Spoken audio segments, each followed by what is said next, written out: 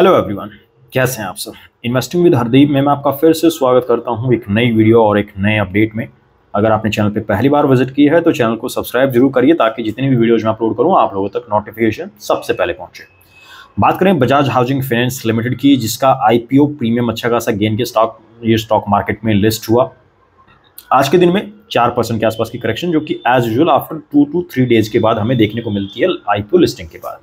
अब क्या स्टॉक 150 के आसपास आएगा? अगर 150 के पास आता है तो क्या बाइंग करनी चाहिए? ये चीज़ हम देखेंगे आगे वीडियो में। वॉल्यूम्स पे अगर आप फोकस करें, काफ़ी बड़े वॉल्यूम्स रहे हैं। ऑलमोस्ट 26 करोड़ 24 लाख निन्यानवे हज़ार सात सौ अट्ठारह शेयर्स का वॉल्यूम 27 सीआर के आसपास। और सबसे बड़ी बात एक और, समझिए कि हाउसिंग फाइनेंस के अंदर जितनी भी बाकी कंपनियाँ हैं, सबसे ज़्यादा मार्केट कैपिटलाइजेशन अब बजाज हाउसिंग फाइनेंस का हो चुका है। क्योंकि जितना इन लोगों ने डिमांड रखी थी, उससे कई गुना ज़्यादा जो है बजाज हाउसिंग फाइनेंस कंपनी को मिला है। रिटेल इन्वेस्टर्स के द्वारा भी और बाकी अदर जिन लोगों से भी जितने ऑफ़र शेयर किए गए थे। तो पैसा अच्छा खासा मिला है तो ऐसे में लिस्टिंग गेन तो अच्छा होना ही था। और यहाँ पे आने वाले समय में क्या तेज़ी बनेगी, ये जानना बहुत ही ज़रूरी है। यहाँ पे अगर आप देखें तो अभी के टाइम पे 190 का जो लेवल है, वो एज ए रेजिस्टेंस काम करेगा। और अगर बात करें 170 तो एज ए सपोर्ट काम करेगा। 170 का अगर ब्रेकडाउन होता है तो स्टॉक 150 के आसपास हमें आता नज़र आ सकता है। हालाँकि प्रीमियम गेन काफ़ी अच्छा रहा है तो स्टॉक में अभी हमें तेज़ी देखने को मिल सकती है और स्टॉक अभी भी हालाँकि अपने 52 वीक लो से ऑलमोस्ट 19 परसेंट ऊपर ट्रेड कर रहा है। 52 वीक हाई की बात करें तो वहाँ से साढ़े सात आठ परसेंट की करेक्शन स्टॉक में हो चुकी है।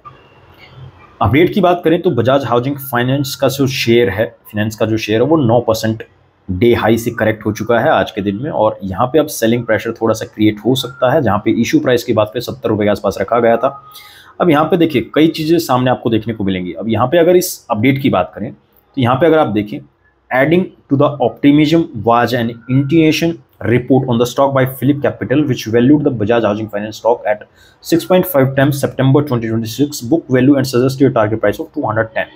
2026 के आसपास तक स्टॉक हमें 210 रुपए के लेवल्स दिखा सकता था। लेकिन लंबा समय है और वहाँ तक जाते जाते स्टॉक में हो सकता है कि 200 की जगह 310 के आसपास तक के लेवल्स भी देखने को मिले। अब ये आने वाले समय में देखने को मिलेगा ज़रूर बट लेकिन स्टॉक लॉन्ग टर्म के लिए काफ़ी अच्छा साबित हो सकता है। Housing finance company in fact commanded a market cap of point lakh 1.5 lakh crore which was higher than the 10 pure play HFC listed in India including Aadhar Housing Finance, LIC Housing आवास फाइनेंसरीज and अपटस value तो आप यहाँ पे अंदाज़ा लगा सकते हैं कि market value Bajaj housing finance की किस तरीके से बड़ी है, किस तरीके से लोगों ने इंटरेस्ट दिखाया और लॉन्ग टर्म में ये कंपनी अच्छा परफॉर्म भी करके दिखाई, क्योंकि ऑलरेडी बजाज फाइनेंस बजाज फिंजो दोनों ही काफ़ी कमाल के रिटर्न्स बनाकर दी चुके हैं इन्वेस्टर्स को, जब से ये कंपनियाँ लिस्ट हुई हैं मार्केट के अंदर। और ऐसे में बजाज हाउसिंग फाइनेंस भी आने वाला है दस पंद्रह सालों में काफ़ी अच्छी ग्रोथ दिखा सकता है। मार्केट वैल्यू देखें, एक लाख चौवालीस हज़ार एक सौ दस crore, stock fifty two week high से बारह परसेंट करेक्ट हो चुका है और फेस वैल्यू स्टॉक की दस रुपए, यानी कि इन फ्यूचर कंपनी अगर स्प्लिट देने की सोचे तो स्प्लिट आपको वन इस टू टेन के रेशो में मिलता नज़र आ जाएगा। यहाँ पे एल हाउसिंग फाइनेंस देखें, आप PNB हाउसिंग फाइनेंस देखें, आधार हाउसिंग फाइनेंस देखें Aptus value housing Aavas financiers तो इन सबसे अगर मार्केट कैपिटलाइजेशन की बात करें तो सबसे ज़्यादा है हुडको का फोर्टी एट थाउज़ेंड करोड़ के आसपास, और यहाँ पे अगर बात करें, बजाज हाउसिंग फाइनेंस एक लाख चवालीस हज़ार करोड़।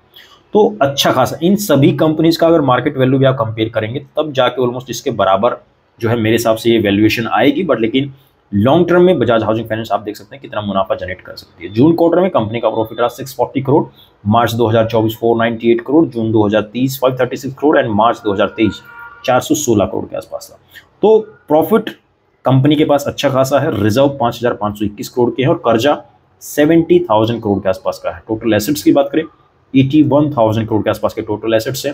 प्रमोटर्स के पास टेक 88 percent F I two point three four D I two point five nine और पब्लिक के पास सिर्फ़ six point three nine percent stake है। प्रमोटर्स के पास अच्छी खासी होल्डिंग है बजाज हाउसिंग फाइनेंस में।